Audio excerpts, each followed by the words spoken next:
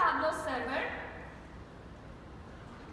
and with Prep Conductor, I can also reuse all these steps published by my teammates. Look at all the great work my team has done. Reusable steps gives you the power to leverage the work of others in your data community and accelerate your work. When we ship features like these, you, the data community, loves to tweet your reactions. And I like to share those with my team. So here, I have a simple flow to clean your tweets. Every time, every time I run this flow, it processes all of your tweets. But you guys tweet so much. I love it.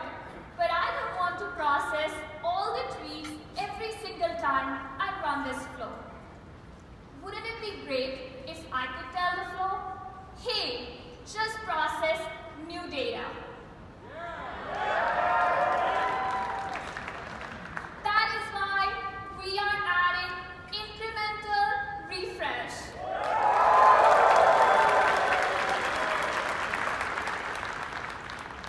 Take a look at input settings. I can now set up an incremental field. Let's use publish date. Now, when I will run this flow, it will only process tweets with publish date later than the previous run. This is great. With incremental refresh, you can now save resources and time by only processing new data. Easy, reusable, and powerful. We are going with Prep.